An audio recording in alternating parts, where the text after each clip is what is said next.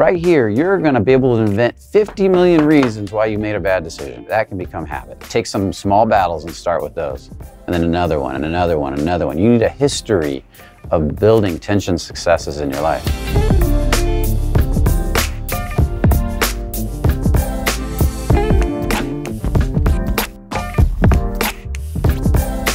Go ahead, who's got a question? Go for it. So um, it's it's been a theme in my life where I have I kind of go back and forth between alternatives, like alternative paths in my life, and I have uh, problems making like clear cut decisions on things. It could be career, it could be about relationships. Um, and I just wanted to know kind of what your experience with, with that was and how that relates to the nice guy and everything. You have trouble making decisions and sticking to them? Or even choosing. Or even making a decision? Are you afraid of making the wrong decision? Okay, this is a great topic to end on uh, and to talk about for a little bit. Everybody knows who Napoleon Hill is, right? Yeah. Okay, huh? Conquer? What? Okay, making smart ass comments up here. I'm watching you, man. Um, Napoleon Hill was uh, wrote really pretty much the first personal growth book, Think and Grow Rich, right?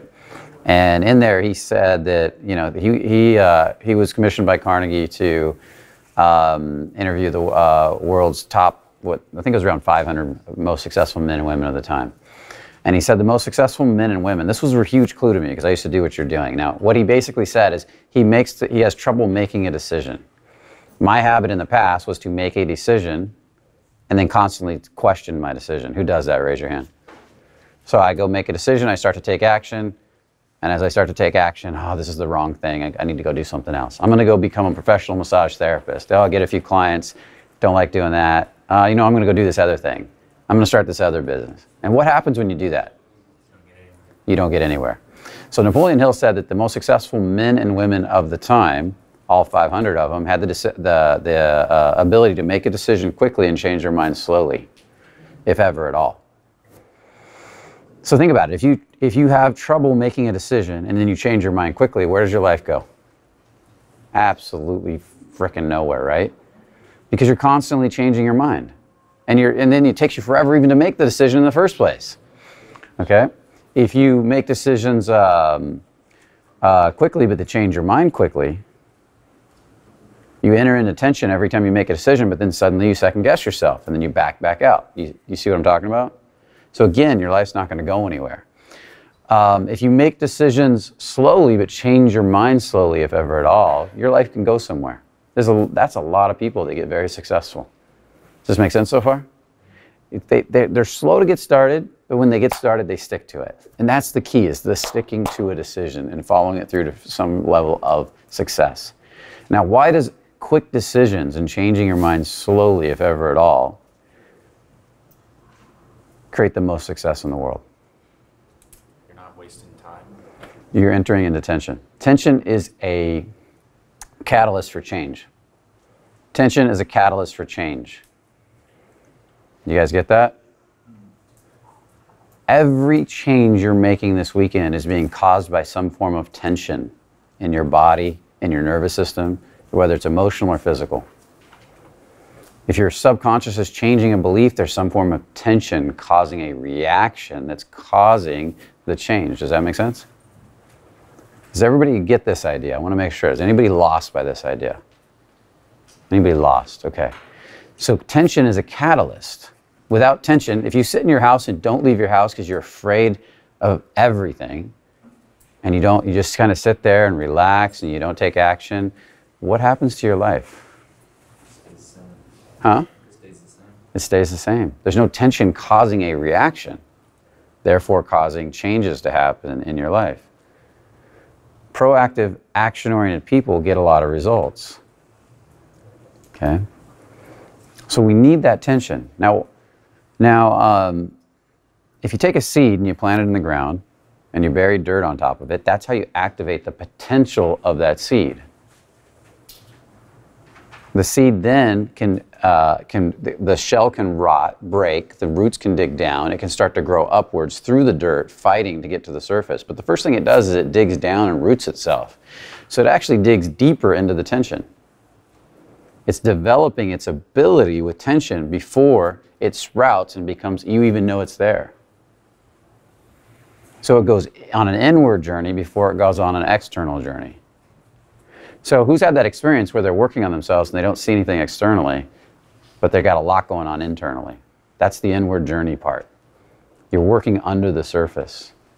You're working under the ground. How does bamboo work? You know that bamboo only sprouts up, what, every five, seven years, somewhere in that range? And it has five years? And it just it shoots up like a rocket on that fifth year. What's it doing the other five years? Roots. It's digging down. It's doing the internal work so it can have that huge quantum leap of growth on the external. You're all doing that. And so tension is the catalyst for change. Now, when you go to step into tension, if you have a bad relationship to tension, whether emotional or physical, and it starts to build, the pressure starts to build, you're going to start something, you make a decision. How long does it take you to change your mind? To second guess yourself, to doubt yourself? Right. So is it the thing he chose to do? The thing he chose to do is completely irrelevant. I'm going to argue that it's not really what he chose isn't that important. He could have chose anything. What he doesn't like is most likely the tension when it builds up, that's why he changes his mind so often. Because when the tension builds up, the pressure causes him, because he's got nice guy syndrome. Who in here has got nice guy syndrome? Raise your hand. The nice guy syndrome causes you to want to avoid the tension. Because every time the tension builds, there's the, there's the potential for judgment, there's a potential for ridicule, there's a potential for failure, there's a potential for letting somebody down. So every time that tension builds, what do you do? Run away. You run away and you go find, you make up stories. Remember stories? All these stories start to come to your head. Well, this wasn't for me. I shouldn't be doing this. I should do something else. And you want to turn around and run the other direction. And then what happens when the tension all subsides? Then you suddenly come up with a new great idea. Well, maybe I should do this. And then after you've done this four, five, 10, 20, 30 times, running into the tension, then running away, how do you start to feel about your own ability to make a decision? Okay. How, how many people does this relate to? Okay. Cool. Any of you not? Any of you not see this in your life? You know? Good. It used to be. Used to be. Good. You've gone through it. So we call this the terror barrier. That um,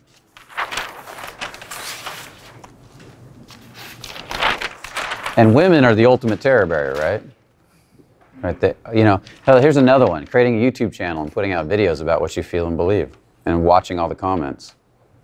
It sounds fine, but the moment you create that first video and put it out there, oh shit, what are they saying? Oh my God, they're commenting on this, they're commenting on that, ah, ah, and then all your stories start to come up, right? I didn't do this video good enough. We need to reshoot it 10 times. How many, have any of you ever done this? Yeah, they picked the best video too. Uh, they did? Of you? Yeah, they picked my best video. I'm like, damn. there will always be somebody talking shit about your videos. You just got to realize that. Like I read through the comments now and I just laugh, especially. But we get a lot, a lot of my, a lot of the fans are really cool. But in the beginning, man, especially. Oh, and you put a hot girl up there. Oh, Jesus Christ, the comments come in. I put one video with a hot girl up there. Guys will love them, and then there'll be the guys that hate them. Hate them. She's a whore. She's a bitch. She's this, and I'm. She did. She's a sweetheart. I look standing next to her. She's a total sweetheart, and I'm like, I'm like, it just makes me laugh. Like you don't even know her, you know, and you guys are already attacking her. Um, so again, tension is a catalyst for change. How do you grow a muscle? You apply tension. So if you're if you're not good with tension in the physical world, especially physical tension, your value to a woman, to the world, to life is is not as good. You also need to be good with emotional tension so you can grow internally because your external world is going to be equal to your internal world. Your ability with your internal tension is going to allow your external world to grow. Your ability with money, your ability to go out and get things done, make stuff happen. So every time he turns around, runs away from the terror barrier, he's te- he's teaching himself what? Tension's bad. Tension's bad. So what how what does he start to feel about himself? He's bad. Insecure. He's insecure. I'm not good enough. I don't like myself. I'm, I, I, can't, I don't follow through with things. Inconsistency becomes the norm because you're building a habit of that. Does that make sense? Inconsistency becomes the norm because you build a habit of that. and you start to buy into that program and you build a story around it. So now he has a story. I did this, this, this, this, and every time I quit, or every time I stop, or I start to st- and now I don't even want to start anymore. I don't even trust myself to start because the moment I, I know I'm just going to turn around halfway through it anyways. Is this accurate? Am I close to what you were talking about? Yeah. What are you feeling right now?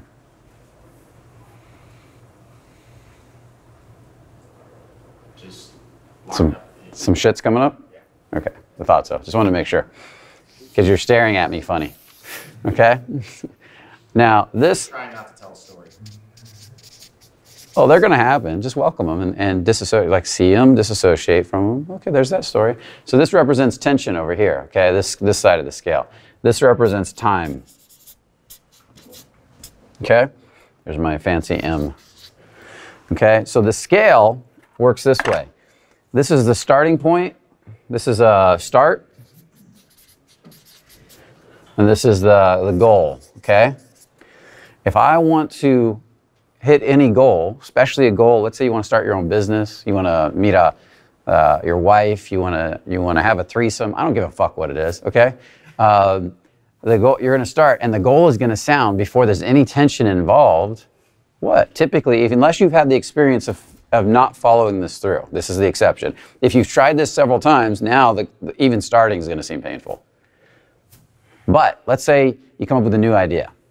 I want to do that. And there's nothing on the line yet. There's no tension. Nobody's asked you to pay for it. You haven't invested any money. You haven't taken action. You haven't created your first YouTube video. You haven't asked a girl out. You haven't walked up on the street and given a compliment. I say, go give highs. She goes, that sounds easy. I'll go give a high. There's no tension involved yet. So wh- what do you do? You fantasize about it. You say, that sounds great. I can't wait to do that. I want to start my own massage therapy business. That sounds fucking awesome. These massage therapists. Um, I want to go out and, and, and you know meet that hot blonde. It sounds awesome. It all sounds beautiful.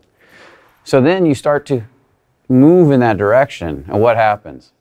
As time represents your stories, by the way. The amount of stories you have is the amount of time it's going to take to hit the goal. Does that make sense to everybody? If I have a ton of stories around my ability to start a business, how money doesn't grow on trees, everybody that owns a business is just ripping people off anyways. It's uh, my whole family's failed at businesses. I tried to start 10 other businesses and failed. Do you see that the time, the distance gets longer in your mind? Successful business gets farther and farther away because you have all these stories. Who sees that? Right, please raise your hand. I want to make sure we're on the same page. So then, as you start to move through your stories and you start to work towards the goal of hitting, of, be, of actually having paying clients that you're servicing, and the goal might be that I need 10 paying clients over a period of the next three months to really feel like a businessman because one is probably just going to cause me to turn around and run back, anyways, right? So you need at least two. So the goal uh, is, and maybe it's a certain amount of money that you want to make in a month to be able to quit your job. Maybe that's the goal. You see what I mean?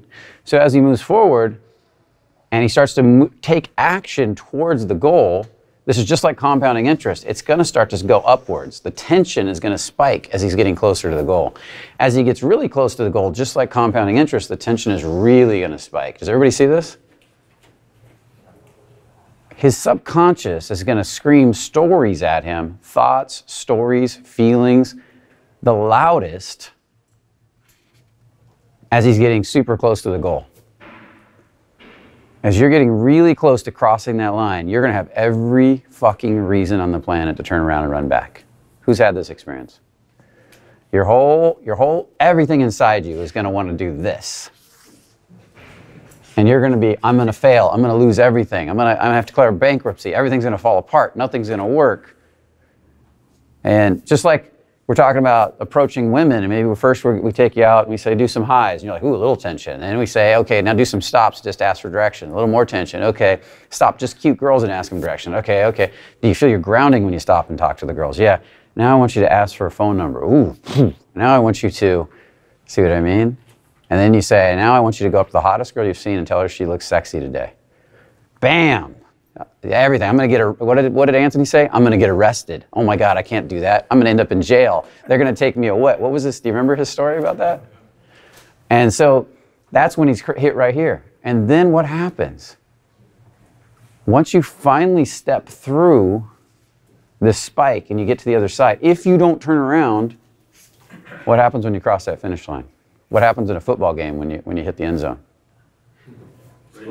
Huh? Score. Yeah, the tension goes down. Nobody can touch you. You can dance. You can have a good time. Who's had that experience where suddenly you're working on a goal and it seems impossible, and over and over your mind's telling you to quit, turn around, don't do it, stop. And then suddenly one day you wake up and you're like, oh, this doesn't bother me anymore. This actually seems normal. It's easy. Matter of fact, why was this ever hard? That's because you crossed the terror barrier. Okay, you've crossed this terror barrier. And now your new baseline is up here. What you're most likely doing is turning around before you ever cross the goal line. Does everybody see this in their life? The most successful people in the world are phenomenal at this process. They get really good at enjoying the terror barrier. Fear is their friend. Their story's coming up, they disassociate from and laugh at them. Oh, there's that story telling me I'm going to fail. Who gives a fuck? Let's do it anyways. If I'm going to fail, let's fail now, like my old mentor said. You know, and let's just do it. Let's let's fricking fail. And they keep they keep going through, and boom, these spikes happen. And but they don't take them personally anymore. But the first time you go through one of these consciously, it's fucking scary. And what I'd recommend each of you do is go through your history and make a list of all the terror barriers you've actually made it through and come out the other side and where everything went quiet. And you're like, wow, that's cool. And get it, see, see how many of them there are. And so you can start to see a pattern in a history. But you might also have more that you've turned around on, which is building a habit of turning around and running away when the stories come up. Successful people don't turn around and run away when the stories come up. They meditate, they release, they move forward anyways, they process, they do it. Okay? Just make everything on track right now. You guys getting it? Now, next piece. We got to mix blue and red.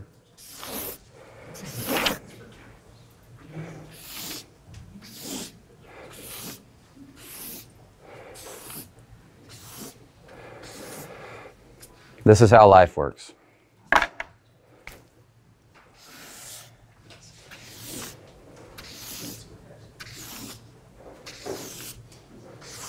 Each one of these is a terror barrier. Here's your real goal.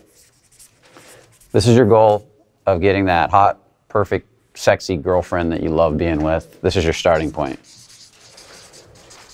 Or, okay? And there's probably going to be a whole bunch of terror barriers you're going to go through on the way to completing the ultimate goal. A millionaire, you know, it's just getting your business. If you want to make a, uh, a million dollars a year in your business, just getting your business started and getting your first sale in could be a terror barrier.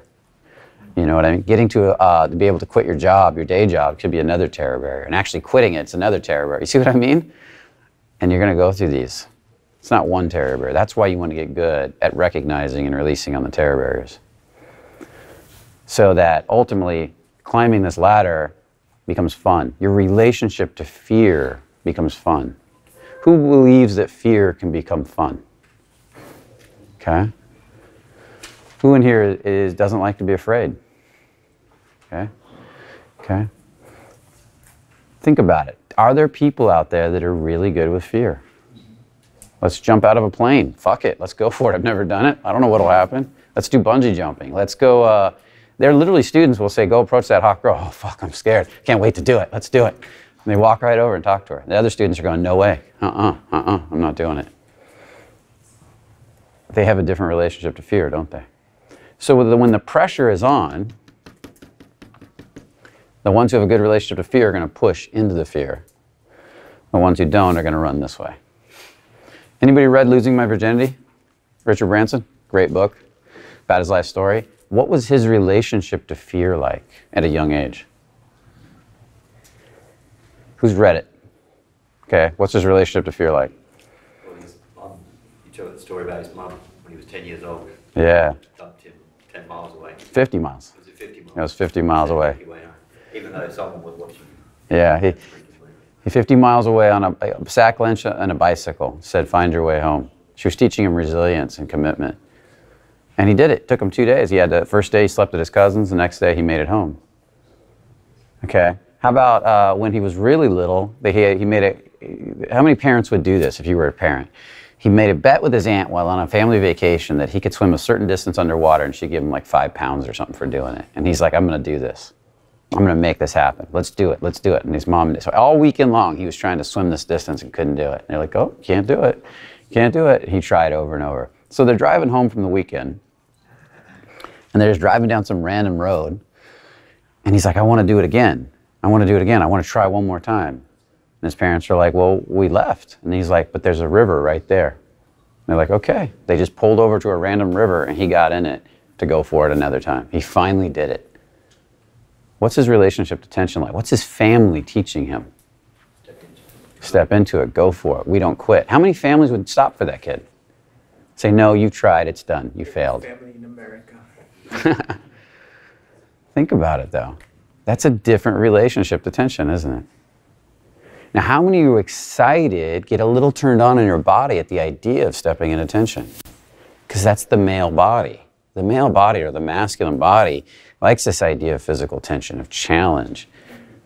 Why did the pickup industry get so big? It's this challenge of going and scoring with a bunch of girls because they because they don't have good challenges in their life anymore. They want to go out and pick up a ton of girls because that's hey, that's a, that's a challenge. We're looking for something to conquer. As men in today's society, think about the middle class. What does the middle class teach you to value more than anything else? Security, comfort. Comfort and security. Comfort and security. So it's, it's drilled into you at what age? From childhood, right? You need a good degree, you need a safe job, you need this, don't take risks, don't rock the boat. So let's say you graduate from, you go to, you go to high school and your parents are like, you gotta go to college, you gotta go to college. Every parent wants you to go to college, right? Even though there's tons of uh, millionaires today saying that college isn't always the best bet anymore. It's, it's, it's, it costs a lot of money for what? And, but gotta go to college. So then you go get that college degree. And you're like, but after I get that college degree, I'm going to go travel the world for a bit, or I'm going to go start a business, or I'm going to go take some risk. And your parents are like, well, you just got the college degree. Why don't you go work for a bit? And then you work for a few years in the college degree, to, you know, and then the, what's the next thing? Well, you know, you got you got these few years in. Don't waste it. Don't quit. You got this good job, this retirement and benefits. Why would you screw that up? And the whole time, your passion, your your dreams are dying. Your your, your love of life is dying. Because why? Because there's no tension in your life. There's no terror barriers. There's nothing to conquer. There's nothing to battle. There's nothing to go through. Your sense of purpose is dying. And a man without purpose, passion, without out going out and conquering the world, or as David Deida would say, fucking the world open, that guy, how attractive is that guy to women? Repulsive. Repulsive. There's this woman um, I talked about earlier today. Her name is Hattie, and she uh, lives in New York. She's over 80 years old, and uh, there's all kinds of little. New, you can look her up on YouTube. There's news news reports on her, and she's on Tinder all the time in in, in New York, and pick. Uh, and she loves to date guys in their 20s, and she's in her 80s.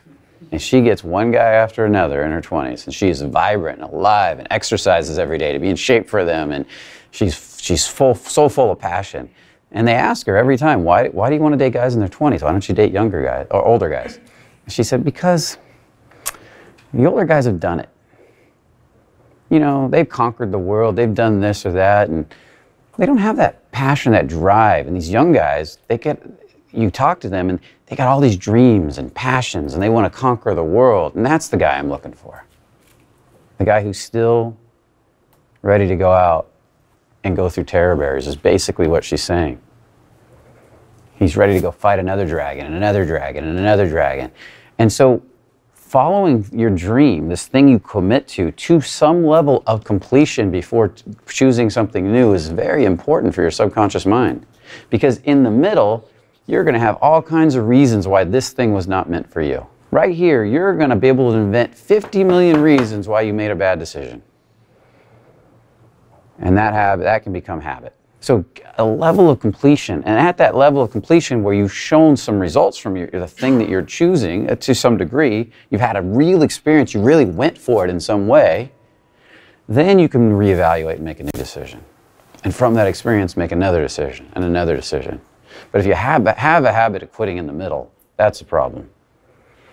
Okay? Is this hitting home for you more? Yeah, and I think a lot of it is uh, just second guessing myself constantly yeah for Well, that's- I've made up to this point. That's the story that comes up right in here.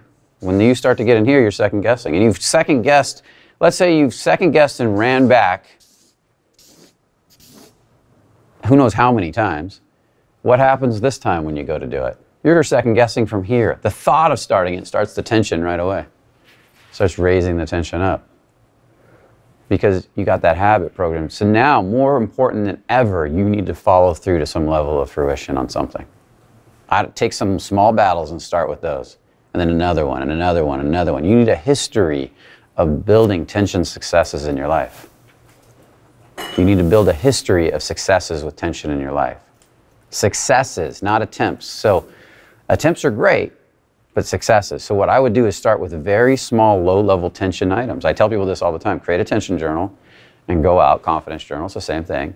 And you're going to go out and select two, three, four, five things a day that you're going to work on around tension.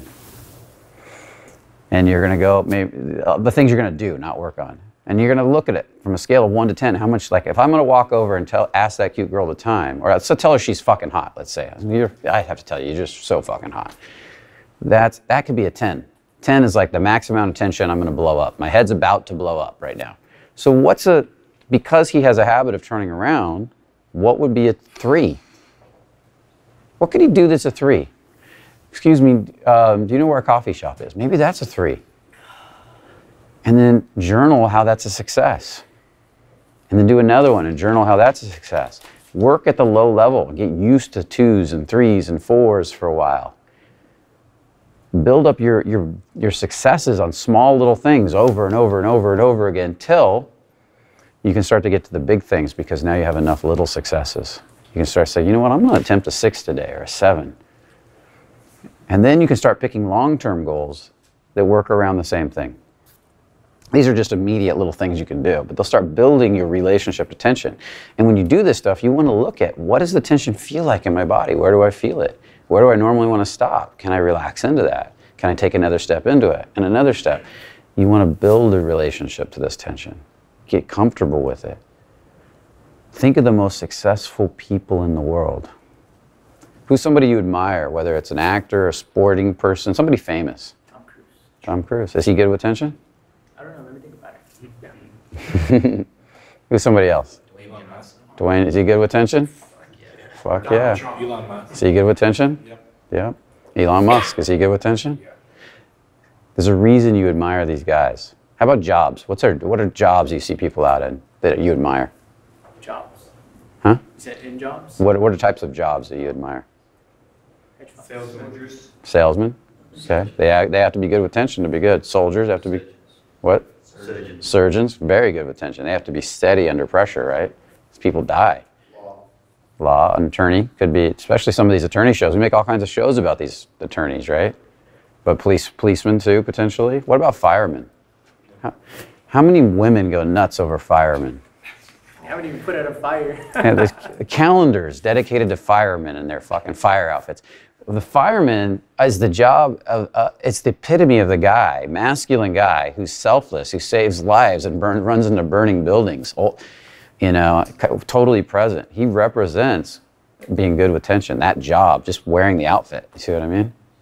It represents everything that, that women want in a man.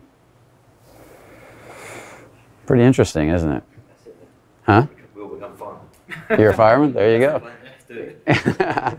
yeah. And so that side of you is, is very, like, how many, what, is, is it the same in England? Is it the same in England? About, Yeah, ridiculously so, yeah. yeah. You should see some of the fun that come around like, I mean, fag AM, I think.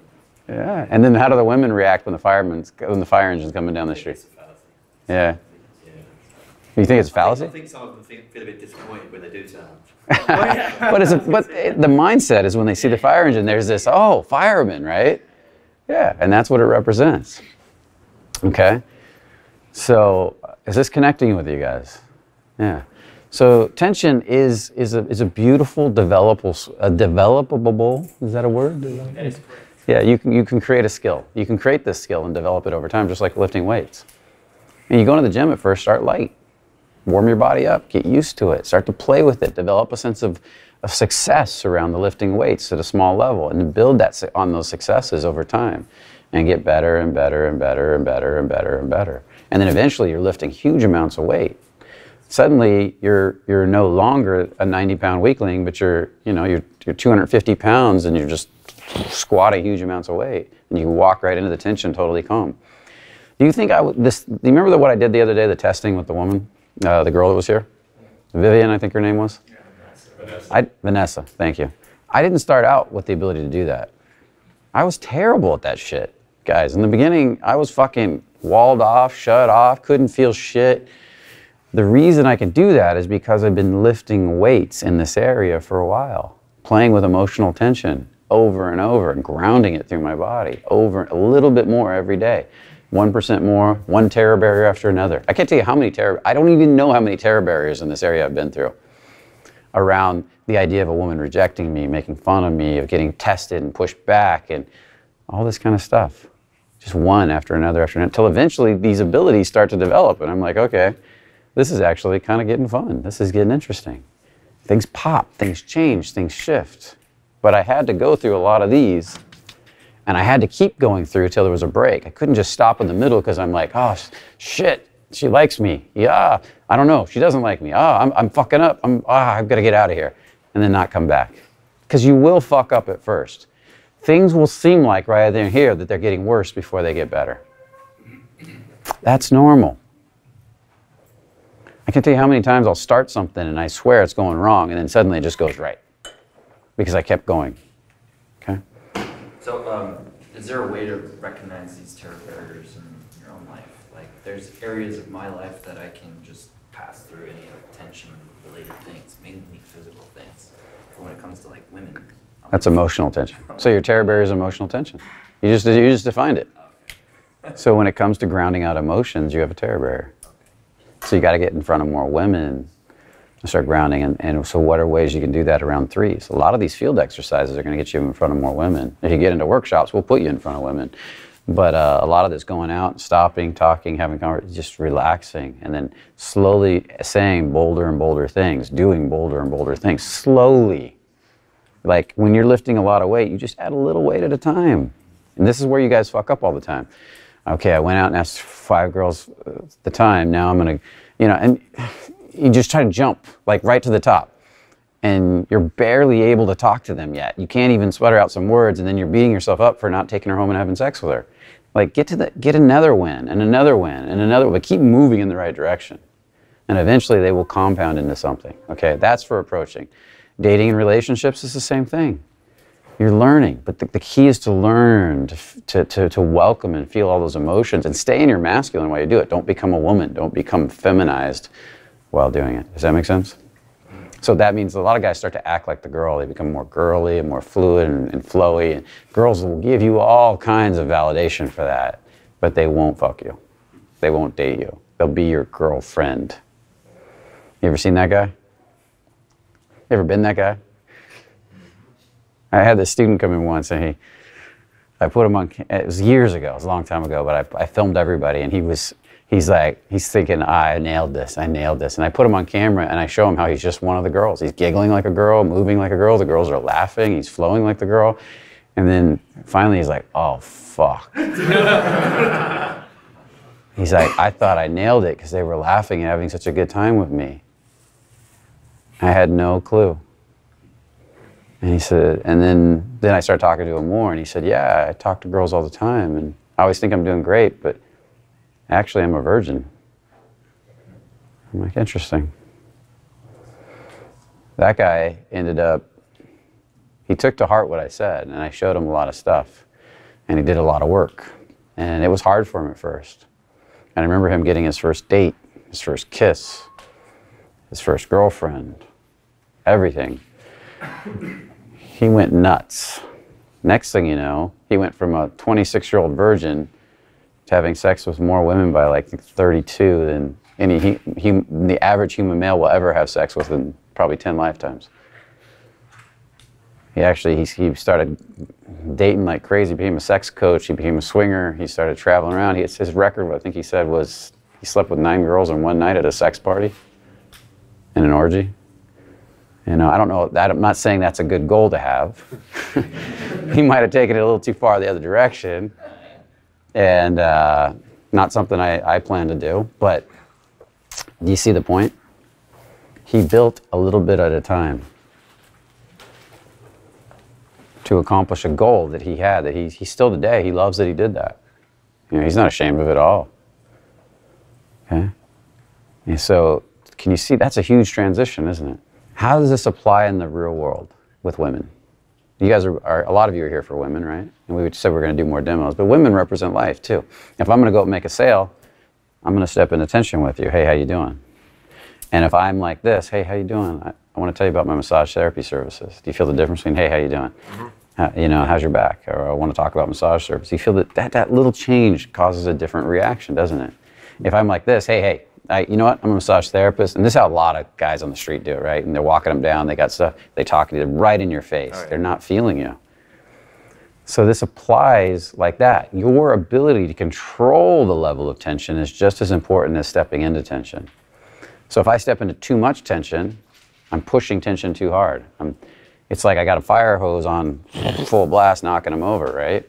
Versus giving them the, the in the hose analogy, the hose represents the masculine, the guiding force. The water represents the emotion.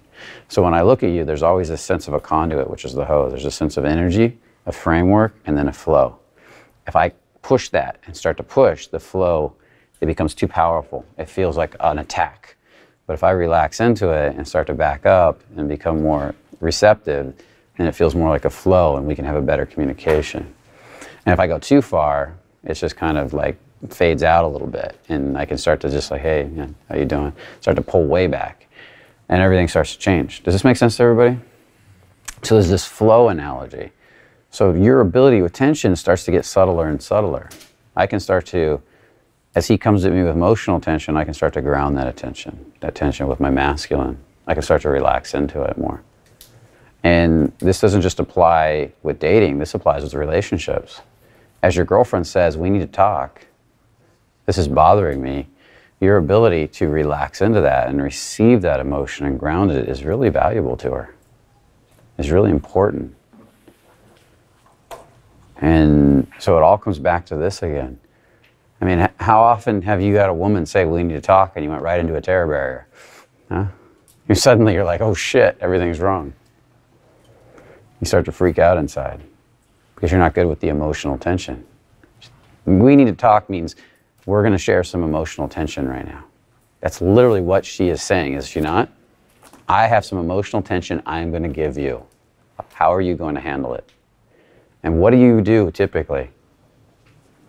I'm going to analyze it. I'm going to get analytical about it. I'm going to defend it instead of just grounding it and seeing through that. Like Dr. Glover says, you know, it really comes down to is she feeling connected? To, most of the time, she's not feeling connected to me when I say that. So most of the time, she just needs some connection. That's all she's really saying. But you hear all the words and you want to argue about them instead of just letting her in. Our job's not hard, guys. And women aren't as complicated as some people say they are. They seem complicated because we buy into all that emotional, their emotional turmoil. But if you don't buy into their emotional turmoil but still feel them, they become way less complicated. If you don't take what they say personal and you're just there with them. But if you have this sense that everything they say means something about you, that what they say is literal, and when she says, I don't, I'm not feeling you right now, means she's going to leave me, and you start buying into all those bullshit realities, then yeah, that's going to destroy the relationship. But the more you can just let her in and let her come through you and start to be there, be that rock, the more she's just going to keep surrendering into your arms over and over and over again. Okay, so what we want to do is we want to do some demos and uh, with the guys, and we were talking a lot about tension and emotional tension and how it, how it works. Um, any any questions coming up before we get started? No, I, to me, it was clear. Uh, I know why I was running away. Yeah, uh, You had to do something with guilt, but. I don't even know what you're talking about. Oh, no, like to me personally. You guys get it? He's not. Ta- there's no context around what he's talking No, about. like, what you were explaining right now, like I kind of recognize the, the terror barrier where you say when you pull out, like where the energy starts like Yeah. clashing, and then like to me it was like the story that I was telling myself was based on guilt, not guilt, but uh, well, it was based on guilt, but it was like on different stages of my life, and then that caused me to like run So away. basically, you're saying that he's right. That's what you're doing. it was just like Uh-huh. relief for myself too. Okay, good. Okay, I'm gonna have you come up, Ajal. Come on. So what we're gonna do is we're gonna play. We're gonna do a demo, but I want you to think about it in the form of tension physical and emotional tension. He's going to use his masculine to ground her emotions. Does this make sense? I have And to connect. emotional or No, no, no. we'll, we'll keep it pretty simple. Um, okay. So first thing, uh, just walk up, say hi. I want to see. I want to see a baseline on him. So go, go for it. Just walk up and say hi to her. Hi. Hi. Okay, good. So where's his energy? I want to see where you guys are at. Before she says anything, where's his energy? Like it's in its heart. Yeah, come back. Hmm.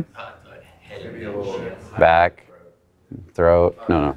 You stay here. Okay, good. Where's it at for you? He's uh, up and back. Yeah, and he's a little pulled this way. Yeah, I would say. Um, Yeah. So your head is a little turned. he had a very firm handshake. I mean, despite all this, his physical presence when he shook hands with me was very good. Okay.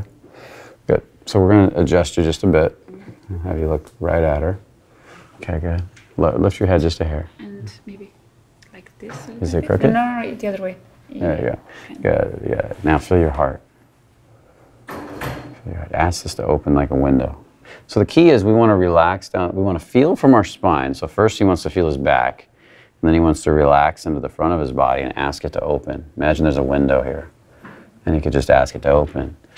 Um, but he wants to feel his heart through his back, and then you have to take her in. You remember I talked about the conduit. I talked about the tension in the conduit. Do you guys get that? Okay, so look up and notice the tension decreases. Look down and come down till the tension increases and connects to her again.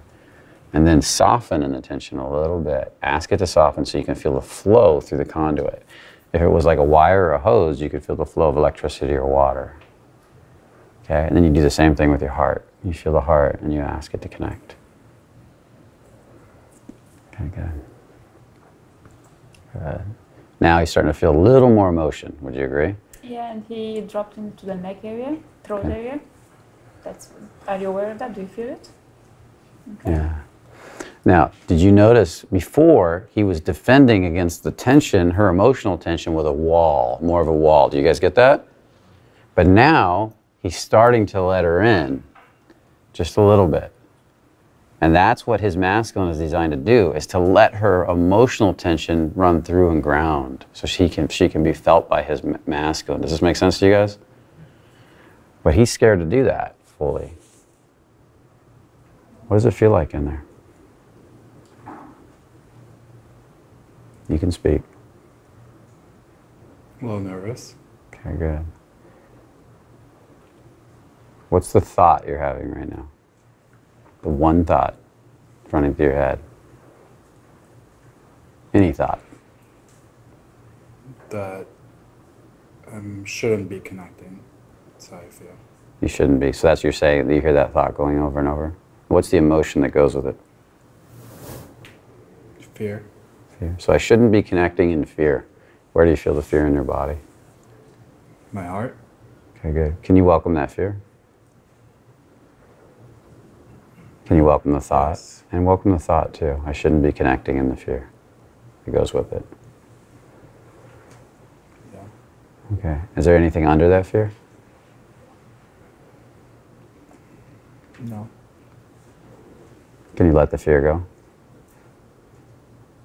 Yeah. And there's still more fear. Can you let more go? Yeah. And more? Yeah. Uh, is he changing? Uh, yeah, but he's. If, I think he's overusing his head because I just got a little bit of a headache. Okay. So um, relax your. Okay, good. So good. Now feel right here. And relax the forehead a little bit. Just right in here. Relax. And see if you can feel down the front of the body a little more. But he definitely has like a Okay. string of emotion Now- feeling here. Okay. We're going to try something to see if we can increase it. Take two steps back. Good. Now look at her again, dropping that tension. There we go. Mm-hmm. You feel the difference? He's a lot softer now. Now he can connect to her. Okay. Say hi from here. Hi. Good. Now, see if you can feel that tension and then connect. And see if you can feel the emotion flowing through the conduit. There's that sense of like looking into somebody. Like if you look at me, now turn your head towards me, I connect, I create a conduit right here, and then I relax until I can feel your emotions. I can get curious. I can start to wonder. If I push too much and get serious, this is me trying to make it happen. I'm pushing. Do you feel the mm-hmm. difference? Mm-hmm. Now, that's what you're doing typically. So then I want you to back off just a little, but not so much everything disappears. She'll let everything disappear? Mm-hmm. And then I come back and I can have this nice flow with you. Do that with her. Okay? Good. Now you have to, to do that, you have to get curious about what she's feeling. And since the eyes are the gateway to the soul, what do you feel when you look at her?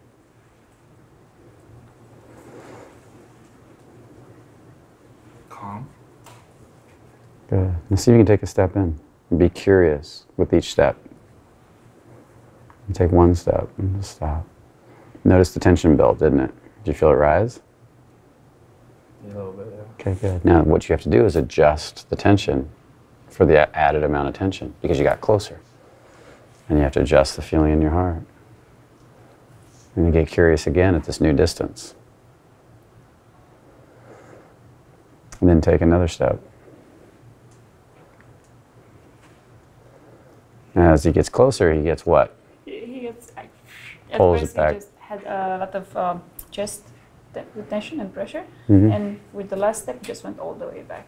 Yeah. Notice we do get less emotion the closer he gets. Do you guys notice that? And so she feels it's hard. She feels less on him the closer he gets. And that's the that's the challenge. It's his nervous system sees her as a threat.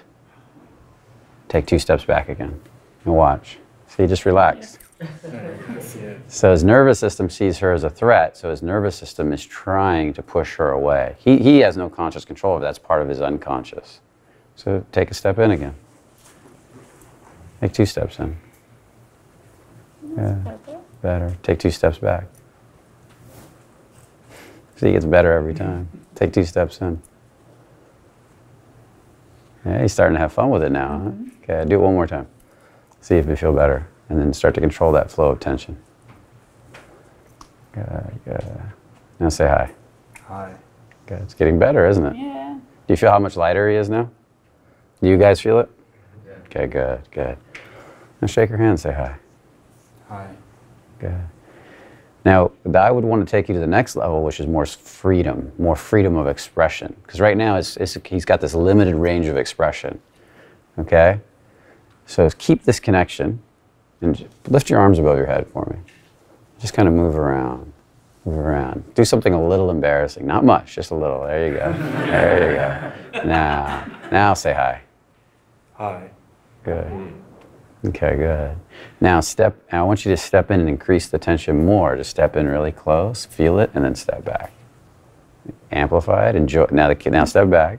He didn't enjoy that, did he? I literally felt his hands, like my hands were shaking because his hands were like, uh. yeah. Did you feel that? Yeah. Yeah. So again, look at me. I want you to step into the tension. Have fun with it, and then step back. Do you feel that difference? Yeah. Do that a couple times until you, you go in and out. If you don't feel uncomfortable, it's okay. You see you're pulling back, so step back, get back in your body, feel it. Do it a couple times. It's not, that's better. That was much better. Do it again. Say hi again. Hi. Good. Now, he said hi over here. Say mm-hmm. hi into her. Now turn towards me. You went hi, and I want you to look into her. Hi. Look, say it into her. Hi. Okay, good. Step out, step in, do it again. Enjoy the whole process. Hi. Hi. It's better. He still pulled back a tad, didn't he? Okay. Now we're not trying to get him to where he's going to walk up and literally say hi like that in, in real life. Maybe he will, maybe he won't. But what we want to do is play with extremes, so that when he walks up and just says hi normally, it's easy and relaxed. Okay. How you feeling right now? Good. Good. Do you like it? Yeah. Good. So this is model work. By the way, look at his shirt. okay. Okay. Good. Okay. Give him a round of applause.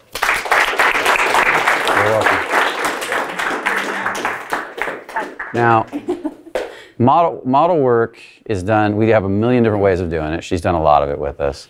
Um, and it's all about different aspects of energies you convey while you do stuff. Okay. So the stepping in and out is part of it. Can you be playful? Can you have fun with it?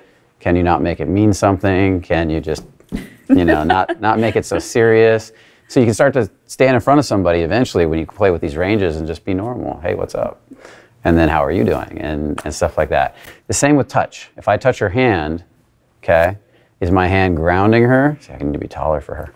I can leave my heels. Nah, it's all right. Um, is my hand grounding her? Like, am I grounding down this leg? Or if I tighten, like, watch, I'm going to tighten my perineum, tighten my leg, start to pull up, and gra- now hold her hand. Does it feel different? Yeah, I feel all my like this side is very very. As I- grounded, exactly. Solid. Very solid, I would say. Okay. Safe. Okay, and as I watch, I'm going to switch again. It, it loo- loosens a little bit. Mhm. Yeah. I was tightening, and then I'm relaxing. And she's, a, she's feeling me tighten and relax. And as I start to, and so what happens is the hand can become fun, can become pleasurable. Or I can do this. If I grab her hand, now I'm trying, what's this? This is dominance. Yeah. It's trying to like Could you- control me, dom- dominate me. Okay, That's now, now I'm going to switch it again. What's that? I would uh, say like pull. Yeah, there's a, there's a there's an energetic pull. You guys don't know you're doing this stuff, but one energy I'm pushing on her, the other energy I'm pulling on her, versus just if I just sit here and if I take her hand and just literally I'm gonna reset it and just kind of enjoy holding her hand a little bit and feel. It's very nice, very soft, very pleasant. It's very enjoyable. Okay, and so these are the energies at play. Got tons of this. We got it in the voice too. I could look at her and be like, I could be talking to her, but I could be like, Hey, how you doing? My name's Brian. What's yours? And what what does that feel like? Uh, kind of up, up here, but all open and um welcome. Open, friendly. Yeah. But not, but all upper energy, Yeah, right? all, all up. I mean, he's not allowing himself to feel, and I'm not feeling him. I feel just all the way here. She, so she'll feel safe, but not, she can't get attracted by doing that. We're There's no best way. buddies. Yeah, let's hang out. Let's go do something Yeah. together, you know? And so I could actually walk up too, and I could, um, I could speak like, hey, how you doing? You know, or I could speak, hey, how you doing? And there's a difference. What was the difference in those two? One was like you're trying to connect with her, like I don't know. Yeah. So watch the difference. Hey, hey, how you doing? This is me just kind of talking. Energy's out and it's wide. And then if I look into her, hey, how you doing? Do you feel the more penetrating nature of, of, of the voice now? I, go ahead. It's, it's reaching me and goes through me. Yeah. Anyway. And that's intent. I can feel that happen. Another one is I could be like, um, hi, my name's Brian, what's yours? And how many guys do this? Oh, so many guys. What did I just do? Pull away. pulled, I turned away on her just a hair, didn't I? But she can feel that, that I want to get away. And so she's going to respond to that. Okay, he wants to get away, doesn't want to talk to me. Okay. Now, the opposite is true too. She could look at me and look into me very seriously, if you can do this, say something like, we, say, we need to talk. something like that, yeah. we need to talk. Yeah. And so I actually had a little response to that. Okay, go, mm-hmm. do it again. We need to talk. And what you want to be able to do is not get nervous and reactive to that. And then say, okay. And then now I'm looking into her a little deeper. And that'll let her know. Could you feel the point at which I went a little deeper? Yeah. And I'm, I'm right here present with her. Now, what I'm not going to do is this say, we need to talk, is what the average guy does. We need to talk. And then start to, Worry, back, pull away. Think a lot, analyze what is mm-hmm. wrong, or what's going to happen. okay? And it's energetic. So what I'm showing you is behind the words. That's why I'm not using words. Like if she said we need to talk, I'd say, okay, well, let's talk. Let's, and then if, if I feel that serious tone, I'm going to lock in with her and okay, let's let's talk about it. What's up? And I'm going to have a conversation, but I'm not going to wall off to her. Do you feel the difference, guys? And, And it a- al- it already makes you feel safe and not so scared because when, or like tensed as a woman, when a guy is just just receives you and is there there for you, you feel safe to talk and it, you speak from a calmer place, from a like more as logical as a woman can place. Okay, and I'm going to to to illustrate this because what she said is right on. It's, uh, that's beautiful. I thank you for saying that. And what I want to do to illustrate this is who wants to be on camera really quick? Okay, I want to use uh, somebody specific I'm looking for. Who raised their hand? I'll use you. Come here. Because there's a reason. So I want you to stand in front of her, walk up, connect. Hopefully, we can get this straight in your head. Ask, push on your heart a little bit, open the heart. Now, do you feel the difference? When I look at her, there's a sense of openness. Okay, I'm connecting, I'm feeling her. When he's looking at her, do you feel how numb he is right here? Okay, so lift your chest a little. Lower your head and lift your chest. Straighten your head. Ask your heart to open. He's already sad at the connection, right? Take a step back. Okay, good. Ask your heart to open. Can you and see if you can find a point where you enjoy her a little better. Mm-hmm. Okay, good. This will work with this. Okay. Now feel her through that left eye. Now just say to him, "We need to talk," and give him that serious tone. We need to talk. How does he? He's, he's like a wall. He's like, he's like nope. Did you feel a reaction in your body? I did. What was the reaction? The reaction? reaction was very similar. You said it was kind of a wall up, but it was like a reaction when like it was a shock. Yeah, What? yeah. That was the reaction. And that's what happens is the nervous system is programmed to do that. Even though I just told him not to do that, the nervous system's programmed to do that. So the more he gets comfortable meditating, practicing, doing all the practices we talk about, the the faster, the more he'll be able to reach a point where she'll say, "We need to talk," and he'll be able to step into it. Be like, "Okay, let's talk about it." Even if he pops out, you can pop right back in. Okay, oh, oh, no, coming back down. Let's go sit over here and talk. Can I add something? Sure. When a guy that does this to a woman, like rolls up, it instantly lights all our alert bu- body. Like, oh, so I have a reason. I actually have more reasons to be worried than I thought initially because he has something to hide. That's it, uh, because we catch that and we're like, oh, so there's something more wrong than I thought that it was. So, And most of the time, what she's looking for in that moment, more than anything else, and I'm not going to say 100%, but most of the time, is more connection. And you give her the opposite of that. And so 90% of, of what she says after we need to co- talk is going to reference wanting you to feel into her deeper in some way, shape, or form, to be more present with her, more connected to her. And, and most guys just do the opposite of that immediately. And that's why women start to chase. They're chasing that connection. Does this connect with everybody? Okay, cool. Give, give, her, uh, give her a thank you. Thank you. I want you to see how a lot of the concepts we're talking about have an energetic underpinning or, or an, emo, uh, uh, uh, an emotional component, but it's really energetic. The emotions are energy, right? The energy is in motion, is, is an emotion. And so when we talk about energetic modeling, sometimes I call it emo, uh, uh, or energetic embodiment, sometimes I call it emotional embodiment. and it's really getting in alignment and flow with all these emotions, which are just energies, and how they transmit from one person to the next, and how we can stop the transmission of them. We can shut them off, we can wall off. Earlier with Jonah, when I connected with you and dropped in with you, what was really happening there was whenever he felt that shame, he'd wall off here and wouldn't connect to the outside world. So all he was connected to was his internal inner world. So the energetic component of connection to the outside world was disconnected. For him to release that shame, he needs a, a balanced connection between his inner and outer world. All of you have an inner and outer world, don't you? You have an inner experience and an outer experience, do you not? Yes. And if he gets so wrapped up in the emotion of shame that he was feeling, that all he can feel is his inner world, and he loses touch with the outer world, he won't be able to release it. He won't be able to process that emotion. So what I did was I created a connection to me to hold that space so he could feel the inner and outer world. So he could actually release it. Because we get really scared when we feel a deep, painful emotion of connecting to the outer world because people will see us. They'll judge us. They'll make us right. They'll make us wrong. So we go inside and hide. And then we get to hold on to that emotion really tightly. What happens to a pool of water, like a lake, if, it's, if it stops losing its circulation and it's just stuck, no circulation anymore? What will happen to it? It dries. Stagnates, dries up. You see what I mean? Same thing happens to us. This is why meditation can be, and not always, so powerful. Meditation can be an amazing tool because it can stop all those processes. Because you naturally, a baby is naturally, you notice a baby is free and connected to everything. It can't control its body anymore yet. It's all flailing, but it feels everything the inner and the outer world. It doesn't even know the difference between the inner and outer world. It's all one to them. And that's the experience we're chasing again. We're chasing it from a place of total uh, of understanding, of consciousness, where the baby is a little more unconscious. It can't even, it can't discern, has no discernment of what's what yet. As we wake up and come back to that space, we have all that discernment now. I can feel this, I can feel that, I can flow, I can walk, I can talk, I can move, and I'm back to that free state again. And I feel like I'm one with everything again. Somebody tell me one thing you've learned. I want to get a couple things as we close out the, the weekend.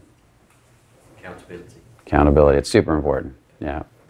And mixed with consistency, it's off the charts. Yeah. Uh, changing your relationship to fear. Changing your relationship to fear. That's a i have a whole talk on that that i love to do sometimes. It's it's uh, but we do it in the experience weekend. It's super important. Taking tension slowly. yes that's huge. I've never said, anybody, said it quite that way but yeah taking tension slowly. Because that's uh, like i have a friend who's one of the strongest well, i think he's currently the strongest man in the world.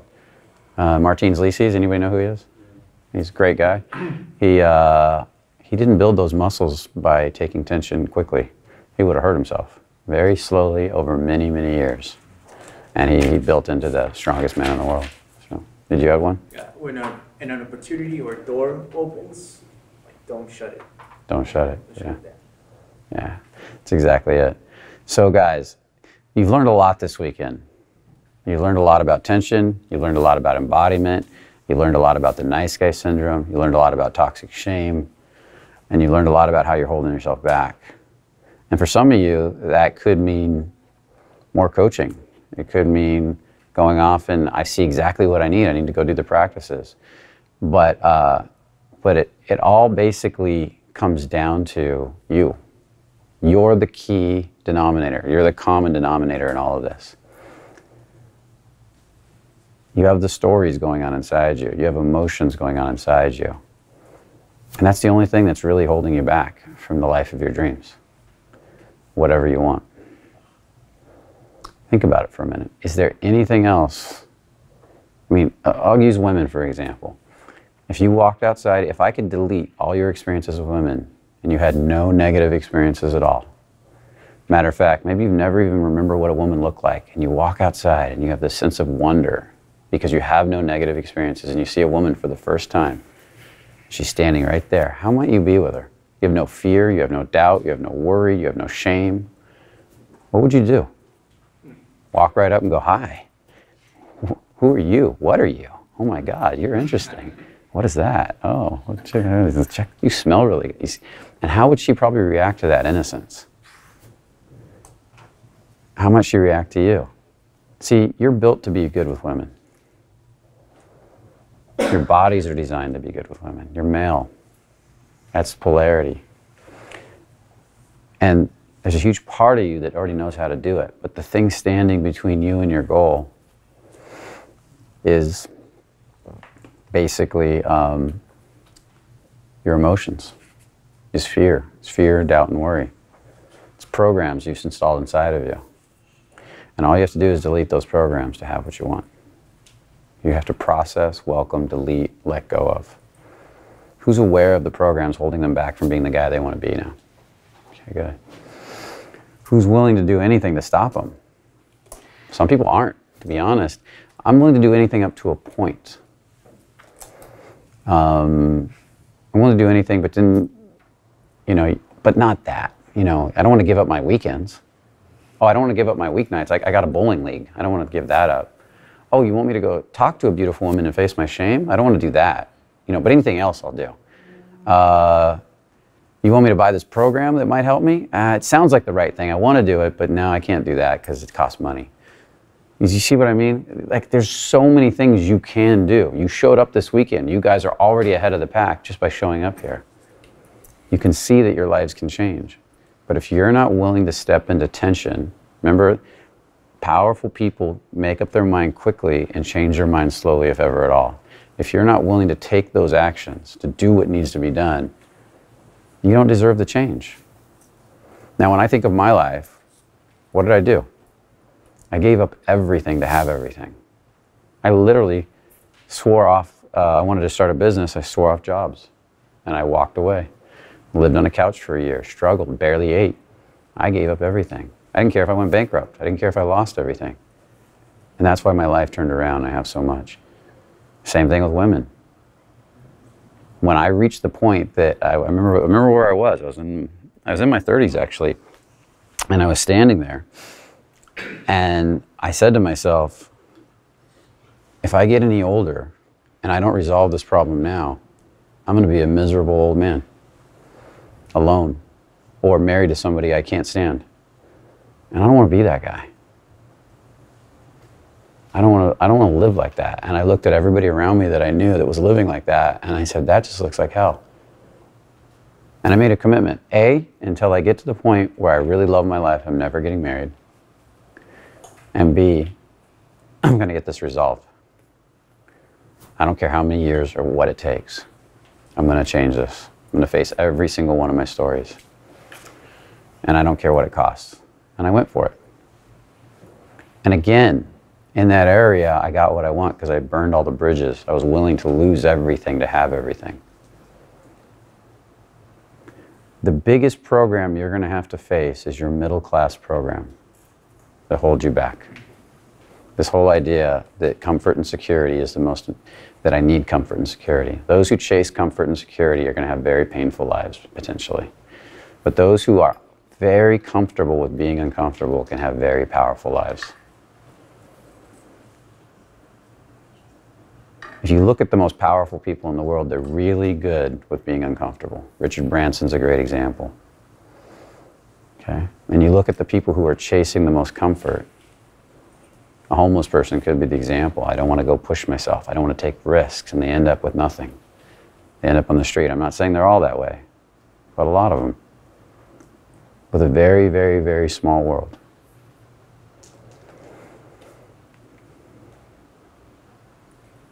Now, we talked earlier about Napoleon Hill for a minute, about this idea of, and I still, I love this idea of making a decision quickly and changing your mind slowly. And there's a piece to it I didn't say. When powerful people make up their minds, they get really good at saying yes, and they get even better at saying no. Okay? Really good at saying yes, even better at saying no. Why? Because discernment is one of the tools of the most powerful people in the world. They are very discerning. And what they do is they get really good at looking at the thing that's in front of them and saying, no, I want to do that, or yes, I want to do that. Doesn't matter what it is. Why is that important? I don't care about the answer. I care about that you come up with an answer. It comes up with a vision of one day. It comes up with a vision it helps to release all that bound up energy. It helps to release all that pent up energy. What happens is, how many of you have a ton of undecided stuff in your lives? Stuff you think about, you're deciding if you want to do. All of that is binding up life force, energy that can be used for transmutation, for shifting another part of your life, for changing something else, for taking you in a new direction. All of that is holding you at bay. And so, what a great salesman does, and I'm going to be talking about our programs up here. Is that okay? You guys good with that? Yeah. Okay, good. I'm going to go into that now. What a great salesman does is they help you to get off the fence. Yes or no. That's it. They don't necessarily try to get you to a yes, but their goal is to get you to stop saying, I don't know, let me think about it. Because how many times in your life have you said, I don't know, let me think about it, and you're stuck, and your life's not going anywhere? Does this make sense to you guys? How many of that, that stuff is still in the back of your mind, tying up energy? If you were to go back and untie all of those and make a clear decision yes, no, yes, no, no, no, no, yes your whole life will change. How important is changing this area of your life? If you look at somebody like um, Warren Buffett, Warren Buffett has a 25 5. He says, write down the 25 most important things you want to do in your life, put them in order, and then take out the top five and focus only on those. And then you take the other 20, and your whole job is to resist ever looking at the other 20 again and never doing anything with them. Because if you try to do all 25, you will go nowhere. And that's what most people do. They bounce around, a little tension over here, a little tension over here, and their life goes nowhere. So, this ability to say no is just as important as this ability to say yes. I bring this up because you had a lot of great speakers this weekend. And I want to reference particularly Mark, and I want to reference particularly Robert in the back. They have all kind. They're phenomenal coaches with all kinds of phenomenal programs and teachings. After this weekend, you know what you need to do to get to the next level in your life. And how many of you are sitting on the fence thinking, worrying, doubting, tying up all kinds of energy? How many of you have been thinking about coming to an event, maybe for Fearless, for years? We have people that sometimes takes them two years to come to an event, thinking and saying, I'm going to come to this one, I'm going to go to that one. And that's two years later, their life's not going anywhere. If you're ready for a big change in your life, it's time to decide yes or no. I want to work with Robert. I want to work with Mark. I want to look at Mark's coaching programs. I want to look at I want to work with Fearless. Make a decision and decide how fast you want to move. You only have so many years on this planet, right?